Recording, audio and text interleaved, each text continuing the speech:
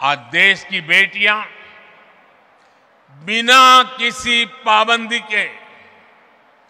रक्षा सुरक्षा से लेकर स्टार्टअप्स तक हर भूमिका में राष्ट्र निर्माण को गति दे रही है। अब बेटियाँ सियाचीन में तैनात हो रही हैं और फाइटर प्लेन राफेल भी उड़ा रही है हमारी सरकार ने सैनिक स्कूलों में बेटियों के एडमिशन उस पर जो पाबंदी थी उसे भी हटा दिया